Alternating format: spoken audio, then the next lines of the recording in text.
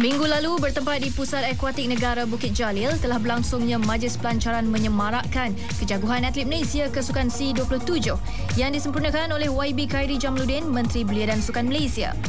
Milo sebagai penaja rasmi bagi kontingen Malaysia ke Sukan C ke-27 di Myanmar dan ini adalah kali ke-14 penajaan Milo untuk Sukan C.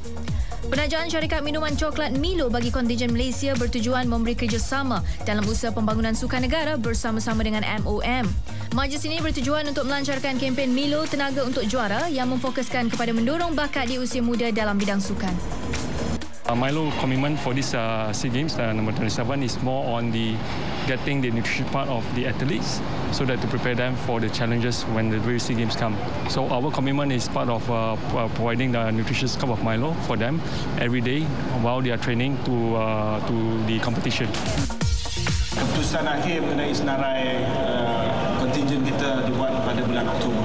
Uh, sudah pasti atlet dan kontingen kita akan melihat bukan hanya kepada sokongan daripada rakyat tetapi sokongan daripada penaja-penaja.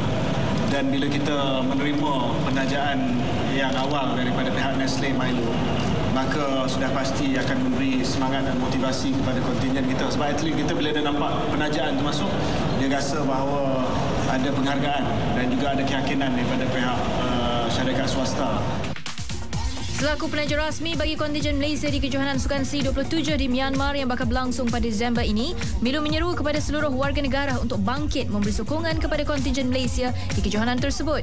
Semoga dengan sokongan yang diberi dapat menaikkan semangat atlet negara dalam semua acara yang dipertandingkan.